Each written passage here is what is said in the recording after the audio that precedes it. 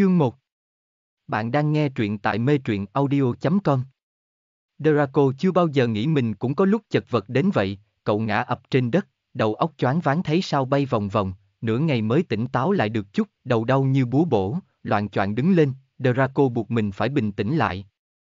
Chết tiệt! Draco mắng, ngay khi nhìn thấy khóa cản đưa cậu tới đây tan thành tro bụi. Coi như cậu may mắn, cái thứ nát vụn như bột đó là khóa cản chứ không phải đầu cậu, bằng không, lúc tử thần thực tử tấn công cậu chết là cái chắc, Draco ông đầu, ráng suy nghĩ một chút, lúc cha đưa cậu đi căn bản không có thời gian để nhiều lời, nên hiện tại cậu cũng không rõ hắn chuẩn bị cho cậu cái gì nữa, chỉ đường dẫn lối. Draco rút đũa phép ra, cây đũa xoay một vòng, chỉ về một hướng ra khỏi rừng rậm, đi một lúc lâu, Draco mới thấy được đường lớn, cảm tạ trời đất. Trước mắt cậu không phải là một đám cây cối rậm rạp nữa, Draco thở vào một hơi. Cậu bây giờ vừa đói lại vừa mệt, nghĩ muốn tìm một chỗ dừng chân kiếm gì bỏ bụng đã, rồi ở đó nghỉ ngơi. Cậu có cảm giác chỉ cần nhắm mắt lại thôi là có thể ngủ luôn, Draco đi dọc theo con đường, đến khi nhìn thấy một thị trấn nhỏ phía trước liền dừng chân lại, đem áo trùng phù thủy biến thành áo quần của Mugo.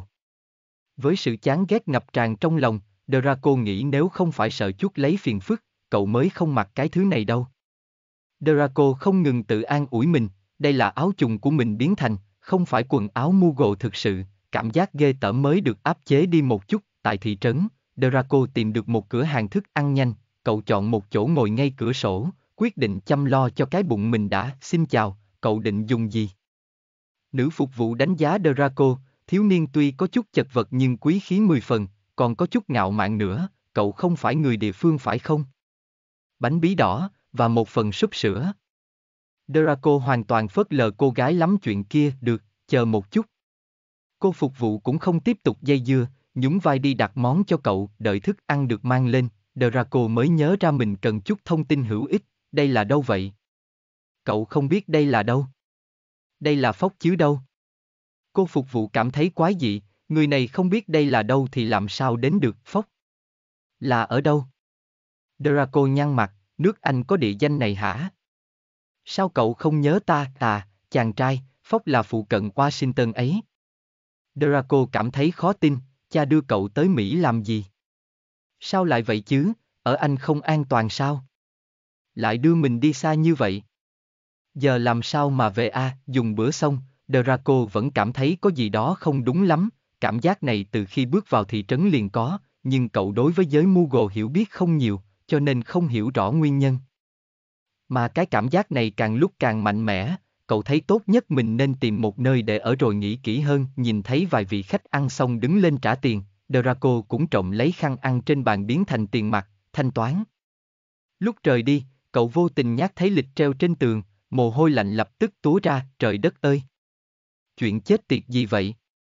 Bây giờ không phải năm 1997 sao? Sao nó lại ghi năm 2005? Cậu vội rời khỏi tiệm, chạy tới một góc đường rút đũa phép ra, thời gian hiển thị. Tia sáng xanh phun ra từ đầu đũa phép, uốn lượn thành một dãy số. 4, 2, 2005, chuyện quái gì đây trời? Draco giơ đũa lên, cậu đương nhiên không muốn ngồi xe đò hiệp sĩ, nhưng đang lúc hoảng hốt, cậu chỉ muốn ngay lập tức thấy được thứ gì đó mình quen thuộc, cho dù có là cái thứ đáng ghét như xe đò hiệp sĩ đi chăng nữa, nhưng cậu vung đũa nửa ngày, chiếc xe vẫn không xuất hiện, trời ạ. Nhất định là sai sót chỗ nào rồi, cậu không có khả năng vượt thời gian tới nhiều năm sau như vậy. Không thể nào có chuyện đó, chính cậu cũng không già đi mà. Draco hốt hoảng, đầu óc hỗn loạn không thể tự hỏi, chỉ biết không có chiếc xe hiệp sĩ, cậu không thể nào đến hẻm xéo, à, lộ trình xa xôi như vậy, cậu nhất định không có cách nào về trong thời gian ngắn được.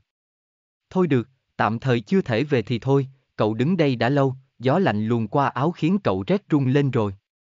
Cậu tự an ủi mình, cậu nên tìm chỗ nào đó nghỉ ngơi, không chừng sáng mai mọi thứ sẽ lại bình thường, đến đây một tháng, Draco đành phải chấp nhận rằng đây không phải thế giới của cậu, không có phép thuật, không có phù thủy hay pháp sư, cũng không có phủ Malfoy nhà cậu để về, trong một tháng này, cậu tìm đủ mọi cách cũng không tìm được đường đến hẻm xéo, Hogwarts cũng không tồn tại.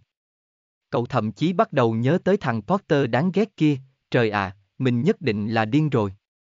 Draco lại nhớ ra tuy ở phốc này không có nhà của mình, nhưng chính khóa cản cha cho đã đưa cậu đến đây, có lẽ cậu cứ thành thật ở lại đây mới tốt. Cậu tuyệt đối không thừa nhận sẽ chẳng còn cơ hội nào được gặp lại người cha nghiêm khắc ấy nữa. Draco tìm thuê một phòng trọ tại Phốc để ở, dù sao cậu cũng không thể ngồi không, ít nhất phải tìm việc gì đó để làm, chứ ngày nào cũng miên man suy nghĩ thì sẽ có lúc cậu điên mất. Bà chủ nhà trọ, bà Pace, hỏi cậu sao không đến trường, cậu cảm thấy, đi học cũng là một ý không tệ, sáng sớm, mưa nhỏ tí tách tí tách rơi, toàn bộ thị trấn chìm trong sương mù, thời tiết ẩm ướt nhiều mưa khiến cho bờ tường lẫn hàng rào mọc dày một dải rêu xanh. Draco chán ghét thời tiết ẩm ương như vậy, cậu có đứng trước cửa trường một hồi, lại xoay người đi tìm văn phòng hành chính, trước khi đến cậu cũng đã ủy thác bà Pace làm đơn nhập học cho, quý bà tóc đỏ trong văn phòng cũng biết cậu. Dù sao thị trấn này cũng nhỏ, cả trường cũng chỉ tầm 300 học sinh, một thiếu niên anh Tuấn bất ngờ xuất hiện cũng rất dễ làm người ta để ý, Draco cũng không cần giải thích gì nhiều, ký xong mấy giấy tờ, rất nhanh nhận được thời khóa biểu mới, chúc em may mắn, chàng trai trẻ. Cảm ơn. Draco lễ phép tạm biệt, ra khỏi văn phòng lại không ngừng thầm nhủ, sao mình lại xui xẻo như vậy, kẹt giữa cả đám Mugo, tìm được phòng học rồi, Draco đến đưa phiếu ghi danh cho thầy giáo, xong kiếm chỗ nào trống thì ngồi vào. Lớp này là lịch sử nước Mỹ, cậu cũng không sợ không theo kịp chương trình. Dù sao cậu cũng là phù thủy, hơn nữa tại một nơi không hề tồn tại bộ pháp thuật, thì chẳng ai cấm được cậu sử dụng quyền phép của phù thủy cả. Kiểm tra thi cử gì chứ, cậu có ít nhất 20 cách để mình xoay sở đạt điểm tối đa, Draco đối với lịch sử Mỹ chẳng có hứng thú gì. Cậu một tay chống má, mắt thì nhìn vu vơ đâu đó ngoài cửa sổ, bỗng nhiên có tiếng người nói khiến cậu phải hoàng hồn, Draco Malfoy. Một anh chàng ngồi phía sau bắt chuyện với cậu, cậu ta có mái tóc vàng chuốt đầy gheo thành một nhúm, ánh mắt thân thiện nhìn cậu, cười, xin chào. Draco đáp, thầm an ủi mình, phải nhẫn nại, ở đây toàn Mugo, à, chào Draco, mình gọi cậu Draco được chứ? Tên mình là Michael. Cũng được, Michael. Khuôn mặt bầu bỉnh làm cậu ta vẫn có nét giống con nít, nhưng vẻ mặt lại lanh lợi thành thục trái ngược hoàn toàn, được rồi, dù sao cậu ta là người đầu tiên làm quen với cậu ở trường, Draco cảm thấy cũng không nên khắc khe quá, nghe nói cậu đến từ nước Anh. Sao lại chuyển đến Phốc vậy? Tại cha tôi thích chỗ này. Nhưng sao cậu biết tôi? Mẹ mình quen bà Pace, hôm trước có nghe hai người nói chuyện mới biết, có một học sinh mới từ Anh chuyển đến đây. Michael cười cười, Draco gật gật đầu, lại liếc mắt nhìn thầy giáo trên bục, tan học nói tiếp, Michael. Cậu nhìn bục giảng mà ngẩn ngơ.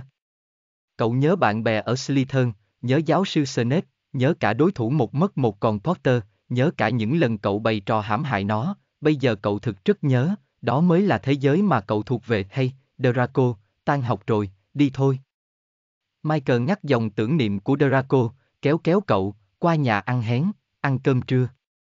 Draco im lặng đi theo, cậu nghĩ nếu đã ở chung với Mugo thì phải nhanh chóng thích ứng cho lành. Draco cũng không trò chuyện nhiều với Michael, cũng không tỏ ra thân thiện mấy, nhưng Michael thì rất nhiệt tình, còn giới thiệu bạn bè mới cho cậu, một nam sinh cao gầy, có mái tóc đen tên Justin, và Christine, một cô bạn xinh xắn khác. Bữa trưa này Draco ăn cũng chẳng thấy ngon, so với bữa trưa ở Hogwarts, Draco lại buồn bực, cho dù ráng cũng ăn không nổi.